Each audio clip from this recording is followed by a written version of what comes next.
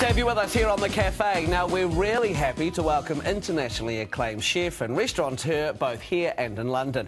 He's got a new recipe book out called Savour. It's a fantastic book, Salads for All Seasons. Would you please welcome Wanganui born Peter Gordon?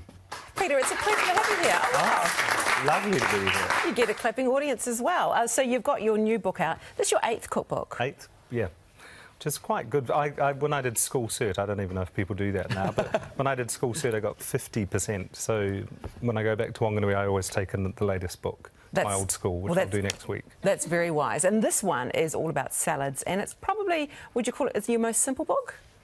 Uh, yeah, I'd say so. It doesn't require a lot of cooking. I mean, some of the components are a bit complex. You need to roast this or braise that, but a lot of it is assemblage of good lovely, tasty things. The posh salads. Not all of them. There's a um, there's a couscous with kale and lemon salad. Yeah, that's posh. Yeah. Oh, is that posh? yeah. Oh, okay. Make everything look beautiful oh, and absolutely okay. gorgeous and just delicious. So why why did you go salads this time around?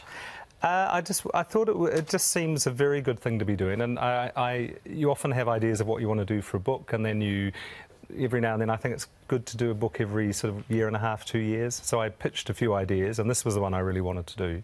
And luckily, that's what the publishers felt as well, and uh, so it went from there really. So you pitched what one or two or more ideas? I've two. I had two ideas. Yeah. Okay, and they went, yeah, yeah no, that's that one. one. Yeah, this which one. was good. And I think if you really want to do something, you pitch two, but you know which one you want to do. So you know.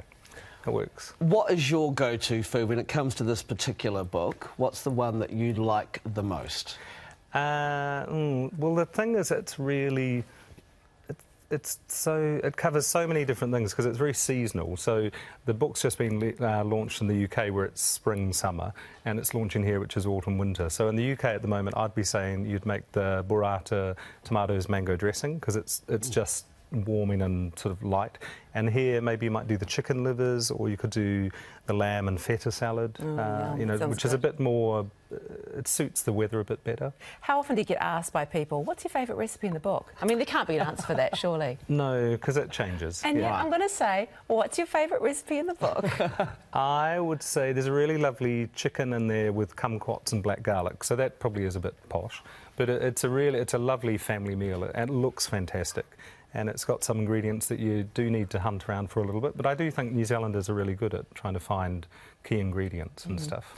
So you're living overseas at the moment, Peter. I just wanted to find out what's going on in your life, really. Um, you're back in New Zealand for a little bit. Do you miss this place?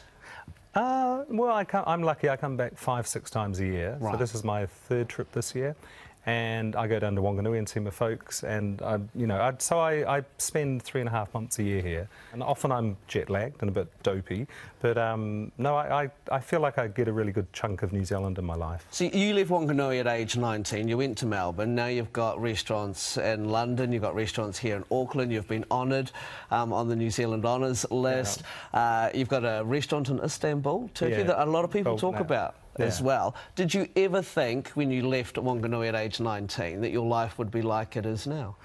No. Right. No, and because the, I don't know that these lives existed back then. And actually, if I can correct, I was 17 when I left. 17? Yeah, I okay, went, to, went to uni and then uh, quit uni and then went back to Wanganui and did a bit of work. And then when I was 18, I, I left the country. Wow. But, but, uh, but in those days, the sort of the celebrity chef sort of thing didn't really exist. There were there was Hudson and Halls and Graham Kerr and Des Britten on the TV.